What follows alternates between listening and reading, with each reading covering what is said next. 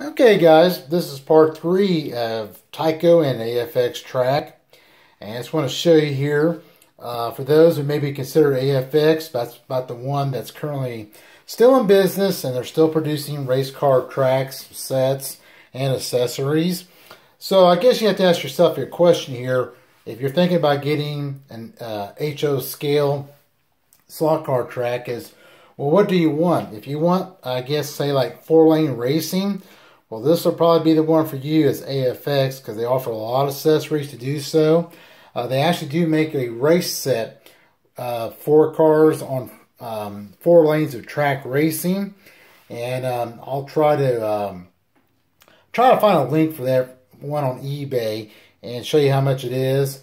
Uh, for those maybe considering this, this is what this uh, video is kind of dedicated to about. And the reason why I say AFX is quite simple. A lot of options they can do here. Now what you see here is four slot cars here. And start off the one here. These are homemade body ones. That one's a Tyco. And that one is AFX. Now as you look here, I'm going to move it here. Just kind of show you this AFX track. Like I said before in the first video, the uh, one on the left there, when you make your homemade bodies, not much of a gap there. There is some gap, but sometimes the cars do rub against each other. Where if you have a Tyco and AFX, um, you still have a pretty good gap there. And you can run Tyco on AFX track or vice versa. You can run AFX on Tyco track as well. Now I want to show you here, right here are the two terminals. This one here and that one there. That powers each lane, so you have a lot of power. Now, what you see is two arrows here. You see this one arrow going this way. Uh, that means it's going that direction. And then the other one here has got an arrow going that direction. And that's how you do your four-lane racing. So you can put the other terminal track on the other side of it, and then you just turn these to go the other direction, and you have your, you know, your handles and everything, and that's how you do it. So I'm going to show you here as an example. And Okay, I'm going to go ahead and move these two cars out of the way. And I'll show you the direction. Um, this one here, I believe it's this lane here. Yep. Just show you, it goes in that direction. Okay. And the other one goes in the other direction like that. So I just wanted to show you that. Now what you can do, we just take this one out. You turn it over. That arrow goes this way. Now I'll turn the car the other way around and there you go. So that's what pretty interesting. That's one thing, options at AFX you want to have there. Now as you look at the power packs, this AFX one, and I'm going to move this over here. Okay, this is AFX. Now the options on this here, you do have intermediate, you have a beginner speed, intermittent, intermittent uh, speed, expert speed on here. It's set on expert, so that's kind of full blast. The middle of it, of course, is mid speed, and the beginner speed is, is um, real slow speed. So depending if you got kids or something, and that way won't, cars won't keep flying off the track, you can change the speeds on there. So um, that's why I just want to show you about that for AFX.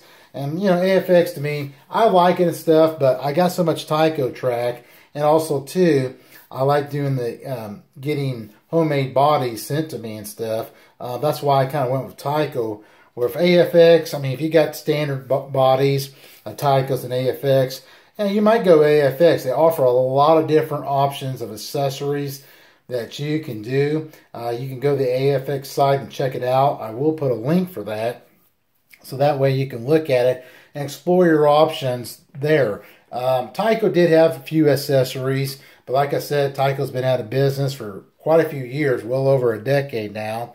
And, um, you know, that stuff, you're just to have to look at hobby stores or online to find that stuff. And most, majority of stuff could be used stuff. So you kind of have to watch out what you're looking for on their stuff. Um, also, too, AFX still making parts for their AFX cars. So you can find those as well. And also, too, I just wanted to show you this. So this way, if you're really um, considering if you um, what route you want to go to, but like I said, if you're um, kind of the guy likes to build bodies of cars. Um, again, um, you might consider the Tyco track as just a little bit wider. And that's really about it. I just want to show you that, the differences about that, about going AFX. Um, to me is, if you want to get started in that, I think this would be a good way for you to do so. It just kind of depends what you really do want. Uh, you know, like I said, if you want four lane racing, go with AFX.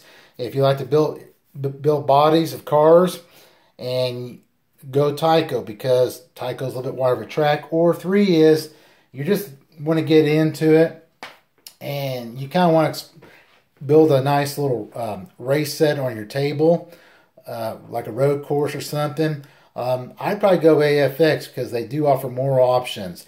And like I said towards the end here, I will post a link for AFX and you can check it out. Also, too, if I can find that four lane race set by AFX, I'll try to put a link to that. I believe I've seen some on eBay, but I will just try to put a link there what the set looks like. So that way, you know, depending what you want to look at for HO scale, which is really 164 scale, that way you can make your decision what you want to do. Okay, guys, that's all I just want to show you for today. You guys, you have a great day. Take care.